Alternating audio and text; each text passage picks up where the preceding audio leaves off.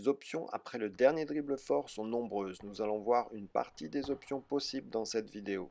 Sache que chacune de ces options doit être connue et maîtrisée afin de te donner une totale liberté dans ton jeu en fonction du placement de la défense. Dribble fort, ramène ton appui et tire, que ce soit sur un dribble fort croisé ou direct, même pied, même main. Cela est très utile quand le défenseur ne monte pas vers toi. Dribble fort enchaîné avec appui simultané, très utile pour prendre un tir dans le trafic et récupérer des fautes. Dribble fort et appui décalé en croisé et en direct. Mais attention, nous distinguerons deux solutions sur cet appui. Soit un saut après le dribble fort pour garder de la vitesse,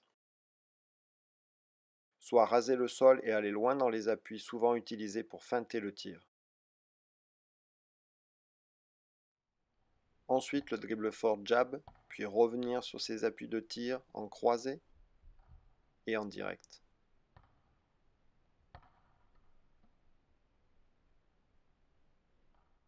Dribble fort pour deux appuis rasants, comme sur un tir en course. Fin de tir, puis ramène ton pied avant pour tirer. Même chose ici en dribble fort direct.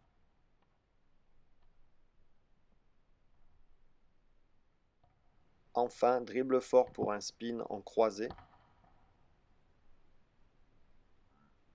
Et beaucoup plus difficile en direct comme ici.